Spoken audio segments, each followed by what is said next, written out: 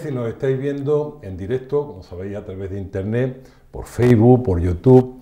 Buenas noches si nos veis luego por la tele, por M95 Televisión. Aquí estamos, un viernes más con todos vosotros en este que, como digo siempre, porque lo es, es vuestro programa. Así somos. Bueno, aquí a M95 pues ha llegado una gente que comenta que quizás ahí se está baldeando menos, que quizás alguna calle necesitaba algo más, que bueno, son temas de son temas de limpieza y de agua y para aclararnos todos estos temas, también de contenedores y de mucho más, está con nosotros el director responsable de la Delegación de Limpieza y Residuos Sólidos del Ayuntamiento de Marbella, Paco Navarrete. Buenas tardes, Paco. Buenas tardes, Paco. Oye, ¿te parece que mm, empecemos pues, pues analizando un poco las actividades que estáis haciendo, eh, los dispositivos. Eh, sabemos que a, lo largo del año, pues la delegación de limpieza, que quizás, quizás no, con toda seguridad, que cuenta con, más personal, pues tenéis una cantidad de responsabilidades importantes.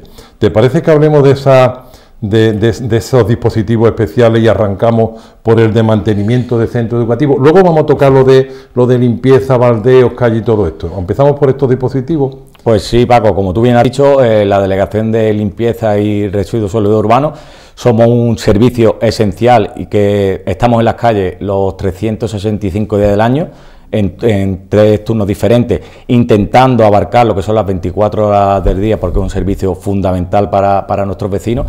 Y dentro eh, incluimos pues, una serie de dispositivos que se van desarrollando a lo largo del año.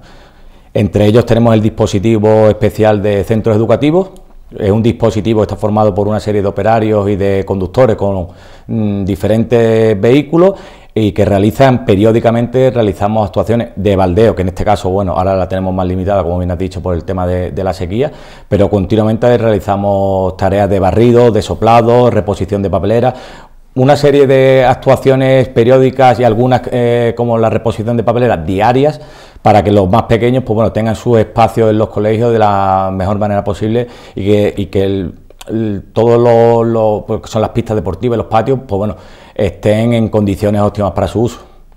Hay un tema importante también, ahora estamos en Navidad, pero tenemos, eh, cuando vaya llegando marzo, abril, pues tenemos la, la Semana Santa. También hay un dispositivo especial para Semana Santa, ¿verdad? Sí, nosotros año tras año planificamos la Semana Santa con varias semanas de antelación al inicio de la misma y semanas posteriores también continuamos con ese dispositivo en vigor.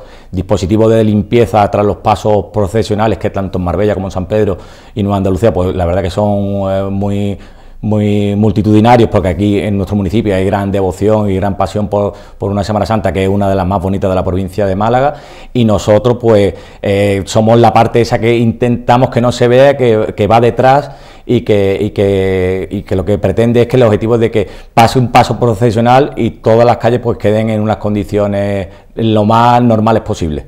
Hay, algunos temas que son inevitables, como es la acera de, las velas, de los cirios en este caso, pues acera que tenéis que ir quitando, que luego muchas veces cuando pasamos con los coches y no andando incluso puede ser peligroso o hacer un ruido eh, extraño, esa acera la vais quitando. Pero hay otras cosas que sí se podrían evitar, ¿no? Como es cuando hay eh, con gente están viendo los pasos, o en este caso la procesión, como decimos aquí, y está comiendo pipas. Pues quizás las pipas, en vez de echar las cascaritas al suelo, podrían ir a un paquetito y luego a una papelera, ¿verdad, Paco? Pues sí, el dispositivo contra la cera pues, perdura varias semanas eh, a posterior de, la finalización de la Semana Santa. Tenemos unos equipos especiales eh, de alta presión para retirar esa cera que las zonas más complejas siempre son las zonas de los cascos antiguos, que tiene, tenemos un empedrado especial y, y, tiene una mayor dificultad en la retirada.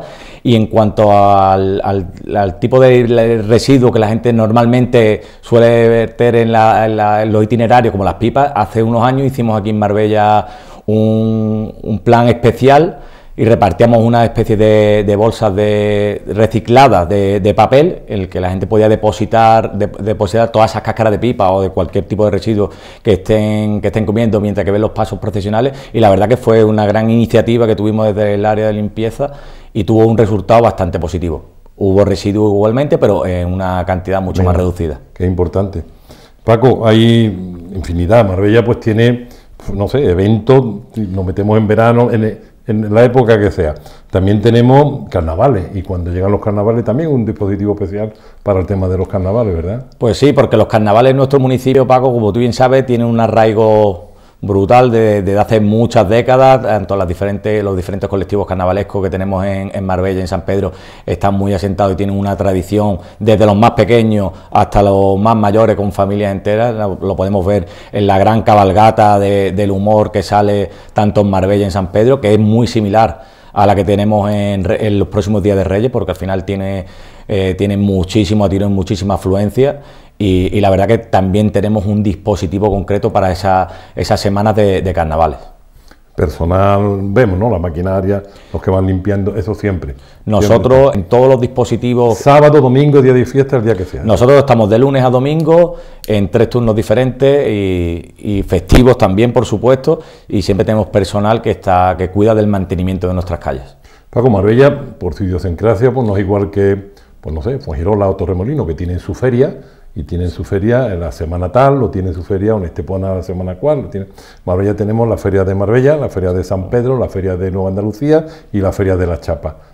Multiplicamos por cuatro ese trabajo, ¿no? De, realizar también ese dispositivo de feria, ¿no? Sí, claro, porque ya no son eh, las ferias grandes, por así decirlo, de Marbella San Pedro, sino que tenemos a lo largo de, la época estival que es la época más fuerte de verbenas. Tenemos más de una veintena de verbenas a lo largo de, todo el municipio repartidas entre todos los distritos. Empezando, puedes empezar por San Pedro con el Salto, Fuente Nueva y, las múltiples que tienes aquí en los distritos de Marbella Este y Marbella Este. Muchísimo. Entonces al final nos, nos, lleva a que tengamos un dispositivo durante toda la época estival dedicado a toda esa serie de celebraciones. A ver, estamos comentando todo esto porque eh, muchas veces eh, parece mentira, ¿no? Que Marbella tiene una cantidad enorme de, eventos, de, multitud de gente que va, y, eso lógicamente va a la espalda de este equipo que es el de, limpieza de residuos. Luego, por eso lo estamos explicando para que la gente eh, lo entienda, lo vea y sepa lo que, lo que realiza, la labor que realiza eh, este equipo de, trabajadores. Paco, pues llega verano y también tenemos la noche de San Juan y tenemos eh, en, Albariza y tenemos en las playas y tenemos eh, eh, hogueras. todo esto también tenemos que andar pues porque es que a lo largo del año, Paco, superamos, rozamos el millar de eventos de carácter festivo, deportivos, sociales, culturales, religiosos. Al final, Marbella es una gran capital y tiene una vida social permanente durante todos los meses del año. Empezamos la época estival con nuestro dispositivo especial de, limpieza en el litoral. Es un dispositivo que hace unos años comenzó únicamente para, para enfocarse en los meses de verano, pero al final es un dispositivo que es necesario los 12 meses del año. Sí, pero mm, contigo con esto, imagino que, que el verano eh, requiere de un dispositivo especial, ¿no? Sí, en, los meses estivales, como pueden ser de Semana Santa hasta segunda quincena de septiembre, intensificamos todas esas actuaciones. Eh, reposición de papelera, limpieza de arena, cribado de arena. Todas las mañanas eh, empezamos normalmente entre las 4 y las 5 de la madrugada cuando no hay usuarios en, nuestras playas para causar las menos molestias posibles y después, antes de mitad de mañana, haber salido toda esa maquinaria y todos esos operarios del litoral para causar las menos, eh, las, menos eh, molestias posibles a todos esos usuarios que día tras día visitan nuestras playas. De todas formas, mm, me imagino que habrá, habrá dispositivos que os pillen un poco por sorpresa, ¿no? O sea, tú podéis estar en, en horario de que estamos acostados, estamos durmiendo, y se levanta como hace pocas fechas un una, ventolera, como decimos aquí, de, no sé, de, 100 kilómetros, 60 kilómetros, y eso pues hace que pues Marbella, que además tiene mucha arboleda, tiene, pues nos encontremos las calles con un metro de hoja. ¿Cómo organizáis, cómo preparáis para, para que al día siguiente, a la mañana siguiente, a las 7, a las 8 de la mañana, pues la gente pueda circular, se pueda mover? Pues la verdad que la, voluntad humanitaria de, de, todo el equipo del área de limpieza, de todos los operarios, conductores, encargados de capataces, es brutal. Es una capacidad de reacción muy rápida, predisposición por parte de, todos los equipos de limpieza en paliar esa situación repentina que ha sufrido el municipio. Lo más, hace unos días, como bien has comentado Paco, hemos tenido unas brutales rachas de viento que han causado caída de, árboles, eh, cantidad de, de vegetación al pavimento y desde esa misma noche ya empezamos con un dispositivo especial que ha durado unas 72, 72 horas para la vuelta a la normalidad y retirar todas esas toneladas de hojas que han sido miles diarias y que, y que a día de hoy, pues bueno, eh, continuamos haciendo repaso, pero bueno, durante esos tres días posteriores a, esa fuerte racha de viento, pues bueno, intensificamos todas las labores de barrido, barrido mecánico, manual, eh, con medios de sopladora y para que la mayor brevedad posible, pues bueno, volver a la normalidad. aparte del viento, eh, sufrimos también no hace mucho, en las últimas lluvias que hace ya que no nos acordamos, pero sí que, bueno, sufrimos aquella calima, ¿verdad? Con, con tierra que caía, que, que, era prácticamente arena roja, que era difícil de quitar, no sé, no estábamos acostumbrados. Eh, también temas de sequía, luego todo esto, todo estos fenómenos meteorológicos también van a vuestro a vuestra espalda, por decirlo de alguna manera, ¿verdad? Pues sí, la lluvia de calima, como bien llamamos esta caída de polvo sahariano con agua, nos pilló a todos de nuevo, es algo que nunca recordamos. Yo no recuerdo. Ni yo. Soy eh, más mayor que tú.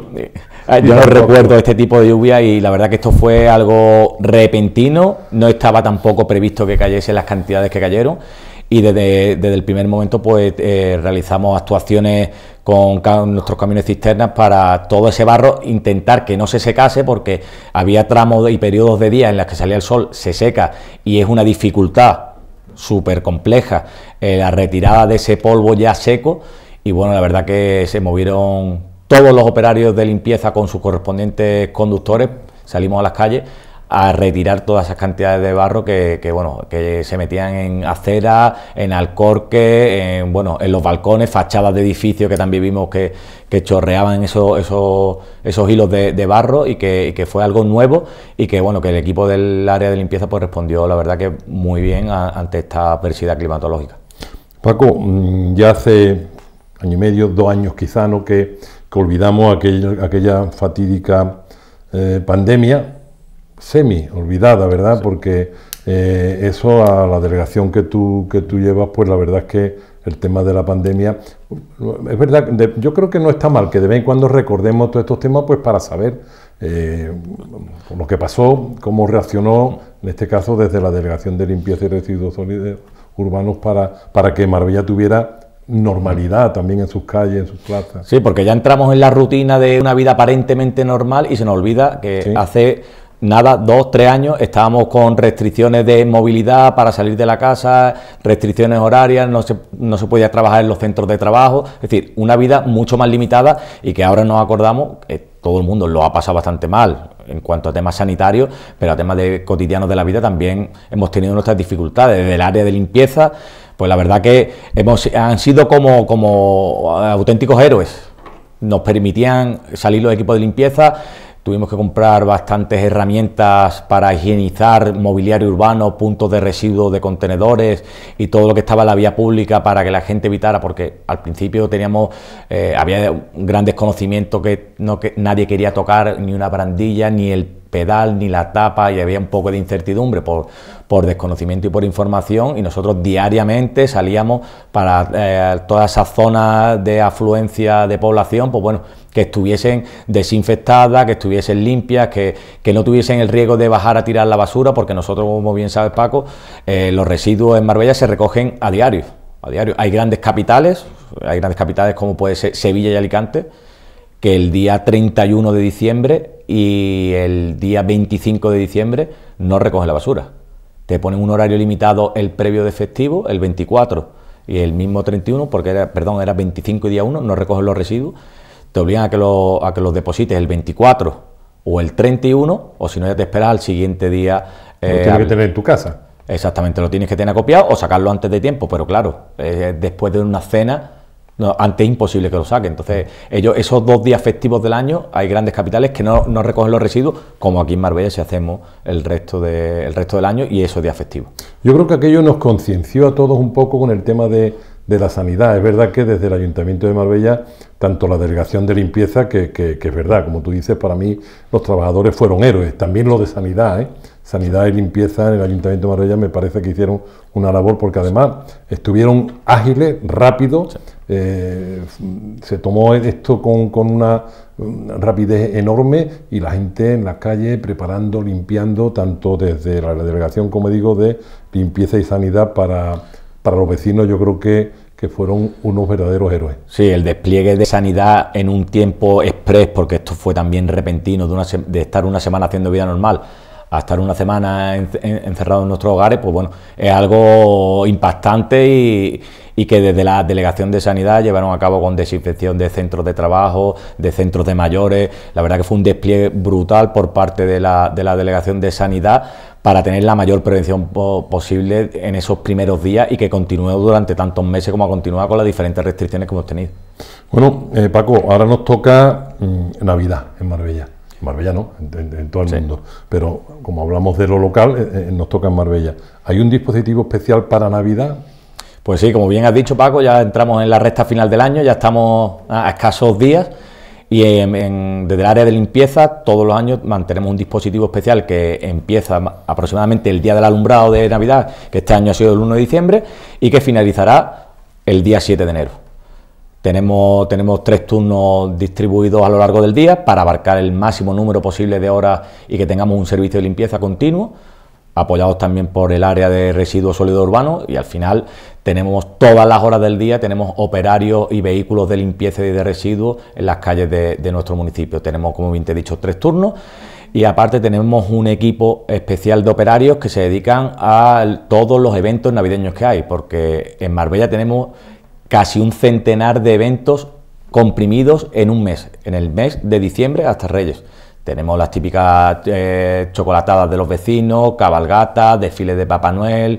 Al final tenemos una serie de, eventos que la verdad que por parte de fiestas yo desde aquí los felicito por el amplio programa navideño que año tras año realizan y nosotros estamos con ellos porque nosotros estamos presentes en todos esos eventos, tanto en el adecentar todas esas zonas de, celebraciones, como en el suministro de cubetas, reposición de papelera, limpieza de, esos baños que hay en, los puntos de celebraciones y rozamos pues casi el centenar en, un año, en un mes, perdón, en un mes. Pues, es, un, tema importantísimo. Vamos a entrar, si te parece, en, esto que ahora mismo nos está tocando vivir, que es el, tema de la, de la sequía. Eh, antes comentábamos al inicio del programa pues que había gente pues quizá eh, un poco como eh, de protesta, oye, no se está baldeando tanto o nada, o de qué manera, y hay una dificultad importante con esto. Paco, háblanos y acláranos el tema de este dispositivo especial de sequía. Pues sí, la sequía es algo que tenemos muy presente en los últimos meses, Paco, porque este último año las precipitaciones han sido realmente escasas en nuestro municipio, en nuestro municipio y en, lo que es la zona de, la costa del suelo occidental. Es, algo muy dramático que hay que concienciar, que yo desde aquí siempre cuando me permiten públicamente decirlo lo digo, concienciación de un uso responsable de los recursos de agua, porque al final estamos en nuestro domicilio y vemos que cae agua y muchas veces no se hace un consumo responsable de ese agua. Entonces ya se han tomado las primeras, las primeras medidas a raíz del decreto que el 14 de noviembre eh, dictó la Junta de Andalucía, que eso a nosotros nos conllevó a que emitiéramos un bando municipal de sequía en el que los aspectos más relevantes son las restricciones de baldeo en la vía pública. Entonces nosotros hemos tenido que suprimir de raíz todas esas actuaciones de baldeo que llevábamos anteriormente a diario en muchos barrios de Marbella y de San Pedro y ahora nos aboca que únicamente podamos intensificar todas esas labores de barrido y soplado de hojas diariamente, que es lo que estamos haciendo ahora. Pero lo que es eh, recursos hídricos en la delegación de limpieza actualmente los tenemos restringidos, está prohibido, hasta que no veamos que eh, las tan precipitaciones deseadas vuelvan, que hay que decir que no se ven cerca, no se prevén. La verdad que eh, hay una previsión negativa en las próximas semanas que no, se prevén precipitaciones en el municipio. Y bueno, mientras tanto, pues bueno, concienciando, realizando actuaciones eh, muy concretas por temas de salubridad e higiene, como pueden ser a lo mejor cualquier tipo de vertido a la vía pública, lo realizamos de manera manual, con fregona y cubo y con medios normales domésticos que podemos tener en nuestro hogar y únicamente utilizamos agua no potable para realizar los lavados de los puntos de residuos. Tanto islas, contenedores, porque por temas de salubridad y de higiene, la Junta de Andalucía te permite, siempre con agua no potable, evidentemente, realizar diariamente el lavado de esos puntos de residuos. Bueno, no está mal. Oye, Paco, me imagino que tú como director coordinador de, este área, de la mano del concejal Diego López, ¿verdad? Para todo, todos estos temas, porque creo que, que, Diego López fue el que, el que eh, sacó, ¿no? Este, eh, dio a los medios y eh, lanzó este, este, este estricto tema de, no solo para, para, para sino también para riegos, ¿verdad? Riegos de, de jardines, riego ahora mismo está el tema, por eso digo que de la mano del concejal del área que, sí, Diego, López. Diego dio publicidad a este bando tras la Junta de Gobierno Local el 15 de noviembre, porque ya llevamos 50 días sin baldeo en la vía pública, que se dice pronto, pero ya son 50 días lo que llevamos sin, sin actuaciones de baldeo. Nuestro concejal Diego López... Comentó el bando municipal que, a, través de alcaldía se publicó para concienciar, porque ahora más que nunca tenemos que concienciarnos y responsabilizarnos, Paco, como te he dicho, de todo el consumo de agua. Todo el consumo de agua que se haga es importante y vital. A la vista está como tenemos eh, la zona nuestra de abastecimiento del embalse de la Concepción, que está en una situación dramática. ¿Qué porcentaje tiene ahora mismo el, Ahora mismo estamos a un 20%, es decir, tenemos 13 hectómetros Actualmente la capacidad es de 65. De 65. 62, 62, 65 y estamos en 12, 13, es decir, es, una es una cantidad residual, por así decirlo, que ya no es hasta... podemos decir que estamos viendo el fondo, que estamos ya viendo el fondo. Yo invito a cualquiera que pueda pasearse por la zona del embalse y va a ver la dramática situación. Yo estuve hace poco y la verdad que es bastante triste ver cómo tenemos nuestra fuente de abastecimiento que está en una situación, pues la verdad que es bastante complicado. Paco, si, si tenemos limitado el tema de baldeo, tenemos eh, para que Marbella esté lo más limpia posible, dependemos mucho de, de los vecinos, ¿verdad? Pues sí, nosotros realizamos actualmente, como bien te he dicho, intensificamos nuestras actuaciones de barrido, baldeo y asistencia a incidencias por cuestiones de salubridad, pero es fundamental, la otra parte es la conciliación y la colaboración ciudadana.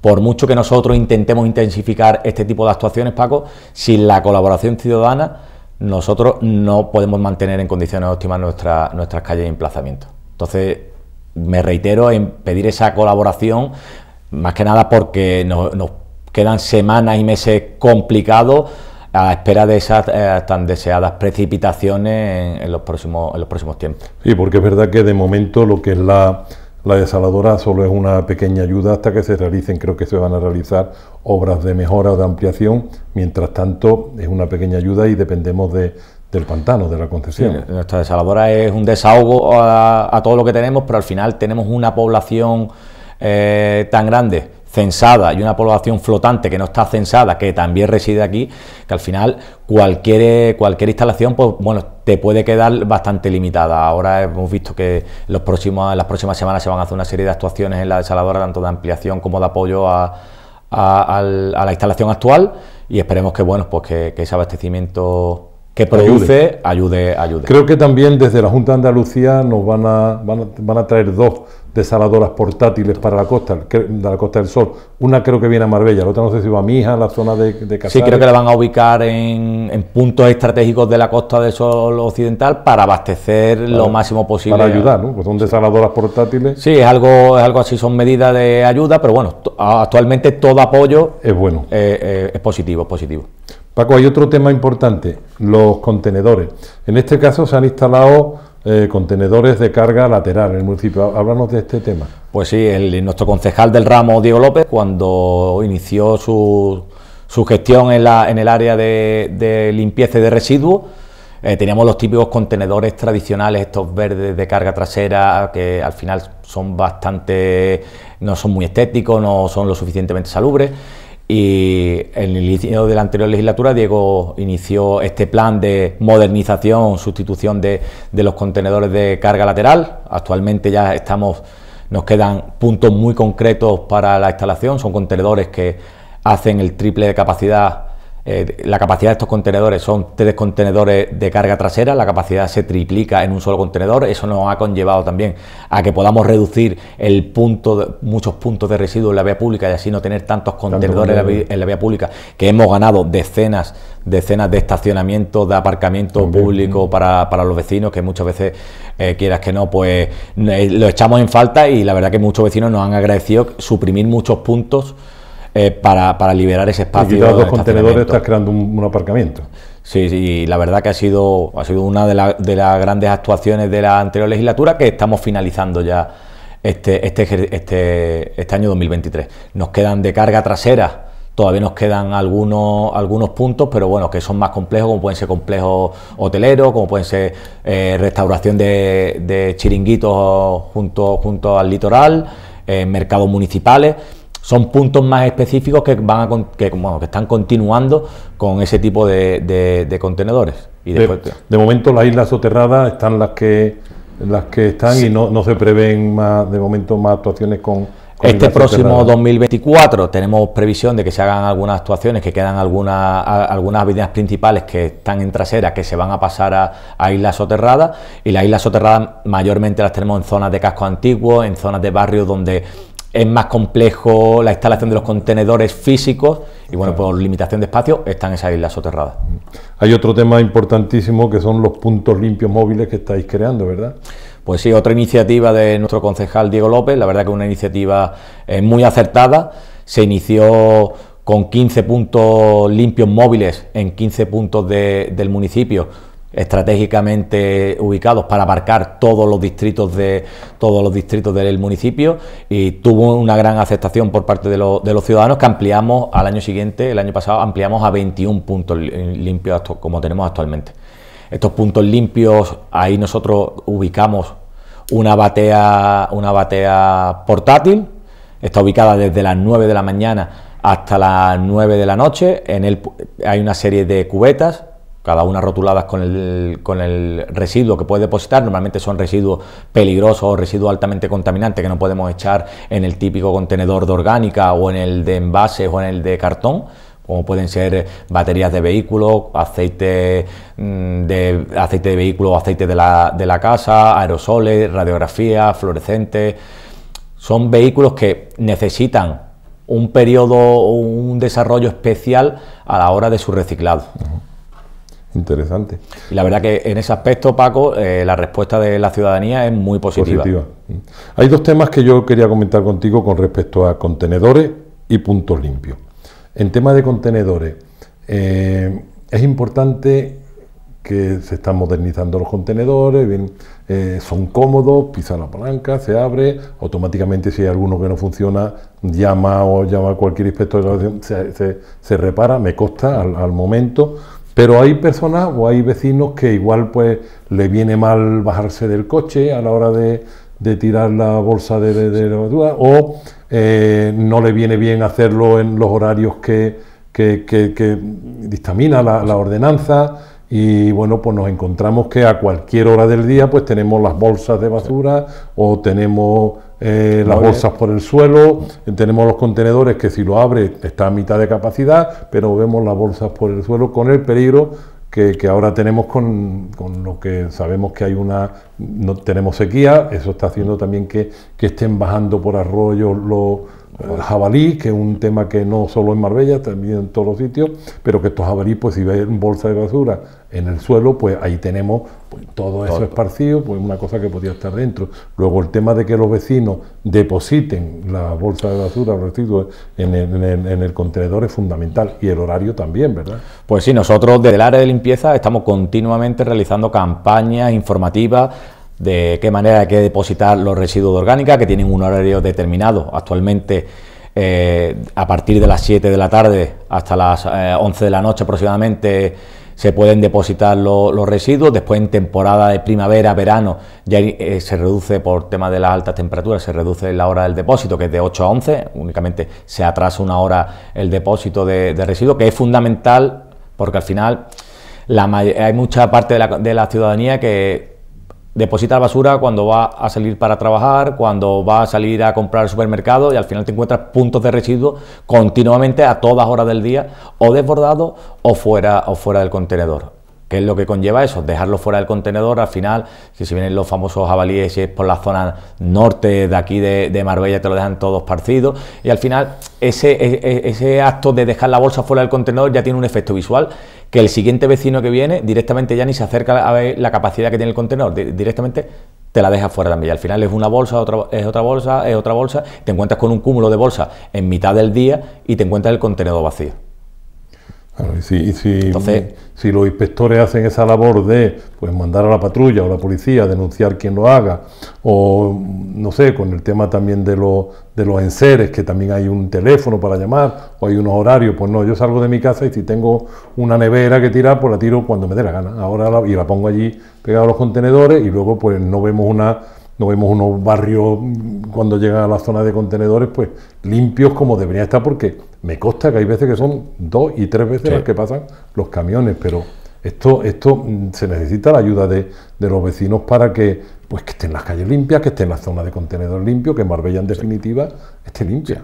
Sí, porque la colaboración ciudadana en este aspecto es fundamental, tanto en el área de limpieza con con la vía pública y con estos gestos a la hora de depositar los, residuos. Aquí en Marbella fuimos pioneros en un servicio de recogida de muebles que es totalmente gratuito, con un número telefónico, te pones en contacto con, con la delegación, con el área de residuos sólidos, le vas a comunicar dónde vas a sacar ese enser, ese mueble o ese electrodoméstico que sea de mm, siempre eh, hacemos hincapié en que sea un enser, que sea un mueble de tamaño mediano, que no, que no son, que no sean mudanzas, la típica nevera o una mesita y demás, ellos nos comunican el domicilio donde van a sacarlo, nosotros le comunicamos que lo dejen a partir de una determinada hora que, está el servicio de recogida de muebles, a partir de una determinada hora en el punto de residuo más próximo al, al domicilio.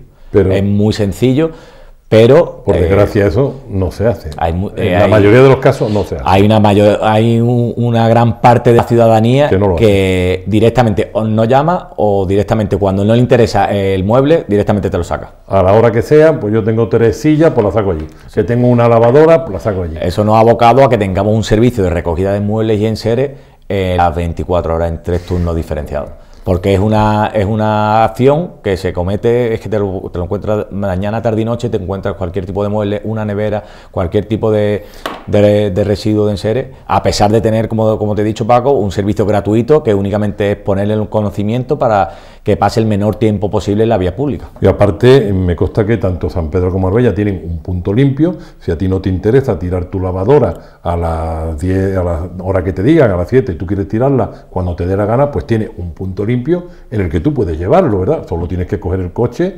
cargarlo y llevarlo a ese punto limpio. Pues sí, me gustaría matizar el tema de la hora. Normalmente nosotros eh, le informamos al ciudadano una vez que llama a la delegación que si es posible que lo saque a partir de las 8 de la tarde. A partir de esa hora nosotros intensificamos mucho más esa recogida de muebles y enser en todo el municipio. El que es un poquito cívico, pues respeta el horario, lo saca a su hora, ha llamado previamente y, lo hace correctamente. Después, pues bueno, hay de todo, como tú bien has dicho, Paco, que te lo saca a las 10 de la mañana, a las 11, a con la imagen, que al final da una imagen y un aspecto. una imagen para tu calle, para tu barrio, para tu zona que, es donde tú vives, o sea que... Es que al final estás depositando eso, estás eh, dando una mala imagen de tu barrio, dando una mala imagen del barrio de tus vecinos y al final es una, es una imagen contraproducente y que tenemos que estar En definitiva, el Ayuntamiento, Paco Navarrete, tiene eh, tanto ese teléfono para que eh, haya esos camiones que te lo van recogiendo y el que no le interese tiene un punto limpio donde lo puede depositar. Ojo, depositar ese tipo de cosas, ¿verdad? Pues un tema pequeño, pues una lavadora o bien unos cubos de...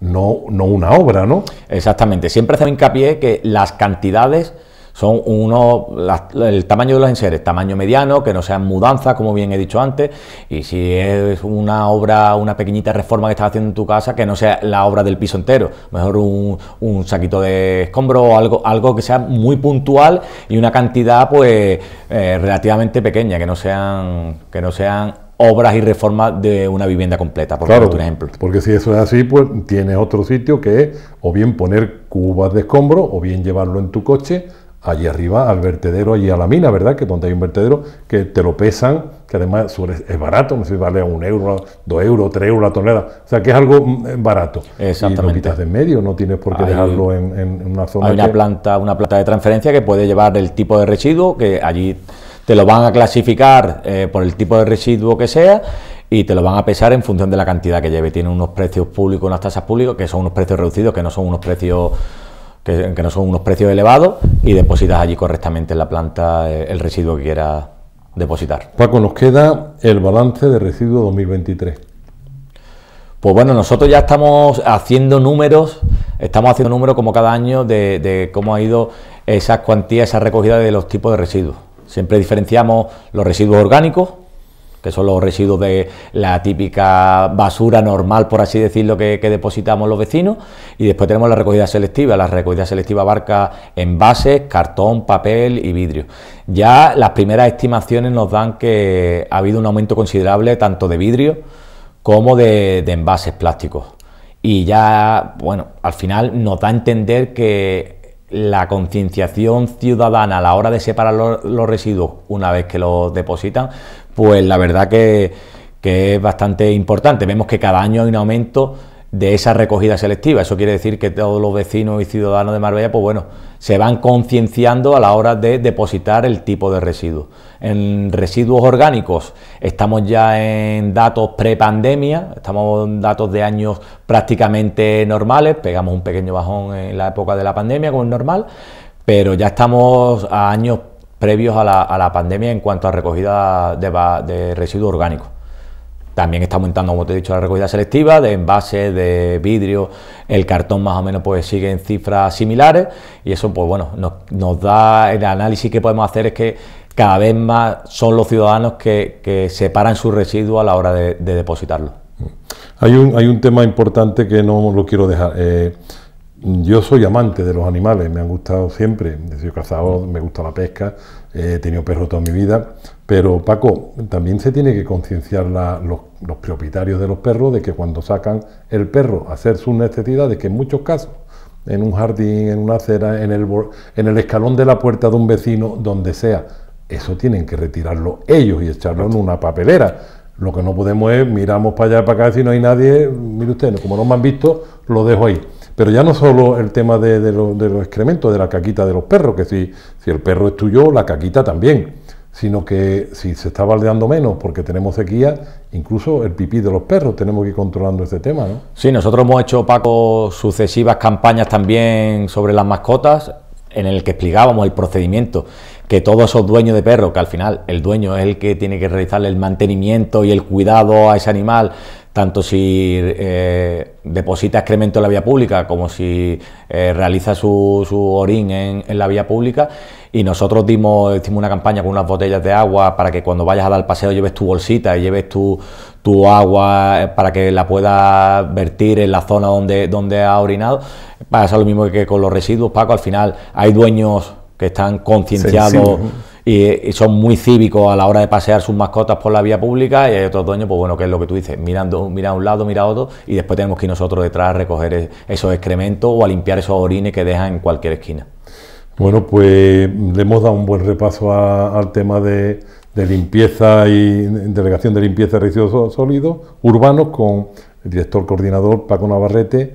Eh, te agradecemos que hayas estado aquí aclarando muchos temas, sobre todo lo que ahora lo más importante es sequía, porque es verdad, estamos en Navidad y es importantísimo, pero el tema de la sequía pues no, nos trae de cabeza. Y, bueno, pues agradecerte las explicaciones y pedirte que cuando pase algún tiempecito, pues volvamos a tenerte aquí para seguir aclarándolo. Esperemos que para entonces ya haya llovido, Paco. Pues muchísimas gracias, Paco, por la invitación. Quedo yo a tu disposición y cuando quiera pues vuelvo aquí a, vuestra casa. Y por último, eh, concienciarme, recalcar que cada consumo de agua, que piensen cada vez que abran un grifo, que hagan un consumo responsable y que sea algo necesario, que estamos en una situación complicada, que vienen meses muy duros porque las precipitaciones aparentemente no se esperan y que estamos en un momento mm, muy complicado, muy complicado y que ahora más que nunca tenemos que concienciarnos todos, tenemos que concienciarnos todos en el consumo de agua que hagamos. Muchas gracias, Paco Navarrete. Bueno, pues como ha dicho el, director, coordinador del área de medio ambiente, tenemos que ser responsables con el uso, con el gasto de agua para los dientes. lo escuchamos muchas veces, pero lo escuchamos como el que escucha, no, mire usted, nos vamos a lavar los dientes, el grifito cerrado, luego cuando nos enjuaguemos un poquito. Eh, hoy tenemos las cisternas que, como sabéis, muchas, muchas de ellas vienen ya con dos botoncitos, el que es para más cantidad de agua, el que menos. Vamos a intentar ser responsables en este tema y esperando que os haya gustado este programa de, limpieza, que yo creo que, que, sí, que nos viene muy bien enterarnos de que hay, hay un teléfono para cuando tenemos que, tirar nuestro, eh, enseres, muebles, y, bueno, tenemos unos puntos limpios, tenemos una zona donde podemos llevar un, poco de escombro o un electrodoméstico que no nos sirva si no queremos respetar la hora, y luego tenemos un vertedero. Así que yo creo que el programa ha sido bastante explícito y Paco ha estado genial. Muchas gracias, Paco. Gracias, Paco. Bueno, esperando que os haya gustado, como decía, nos despedimos hasta el próximo viernes, lógicamente, hasta el próximo viernes, deseando no solo a, los vecinos, a todo el mundo, pues que, paséis una, la Navidad ya, ya la hemos pasado, pero que tengamos un buen, próspero año 2024 lleno de felicidad, paz, trabajo y mucha salud y que llueva. Gracias, nos vemos, chao. Thank you.